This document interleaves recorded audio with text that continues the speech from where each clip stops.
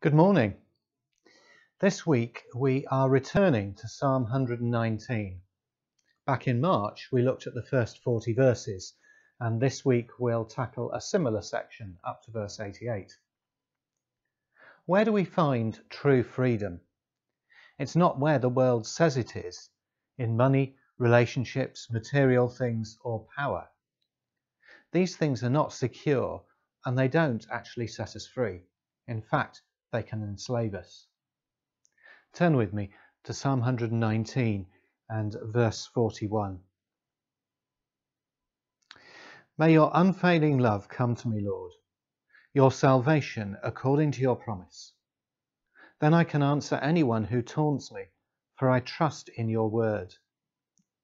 Never take your word of truth from my mouth, for I have put my hope in your laws.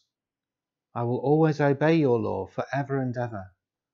I will walk about in freedom, for I have sought out your precepts. I will speak of your statutes before kings, and will not be put to shame. For I delight in your commands, because I love them. I reach out for your commands, which I love, that I may meditate on your decrees. The writer says confidently, I will walk about in freedom, but why and how? Where he finds freedom is the opposite of what the world would think. He finds it in God's precepts, his statutes, his commands. We think of rules and laws as restricting, but they're there to protect us and help us live safely and get the best out of things.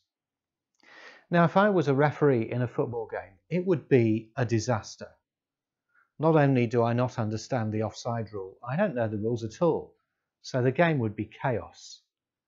Do you think the players would have more fun and a better game with me refereeing so that they could get away with anything they wanted or with someone who knew what they were doing? We recently adopted a rescue dog. He's learning that he'll have more fun and more freedom if he obeys the rules. If he learns to come when he's called, he'll be allowed off the lead more often. If he learns not to chew things, he'll be allowed in more rooms on his own and out of sight. It's the same with life.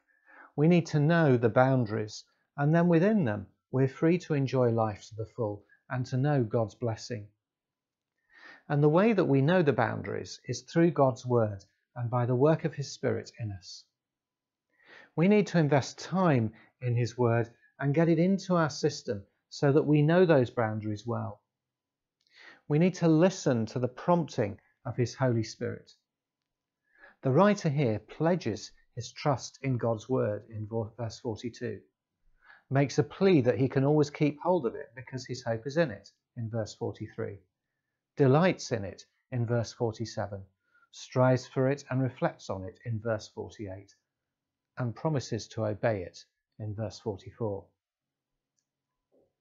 When Jesus came to earth, hundreds of years after this psalm was written, he said, I have come that you may have life in all its fullness.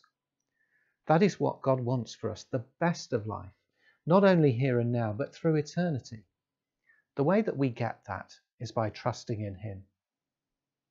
We need God's word and His law, but not to follow blindly or out of duty. Instead, it enables us to find and live out a relationship with Him through Jesus. When we place our trust in Jesus, he gives us His Holy Spirit, who not only guides us and helps us to understand God's Word, but also gives us a new heart to enable us to love Him and to follow His commands. True freedom is in Jesus. Let's not look for it in the things of this world or in selfish desires. Let's place our trust in Him and invite the work of God's Spirit in us to enable us to understand and equip us to follow His word, to change our hearts to follow Him.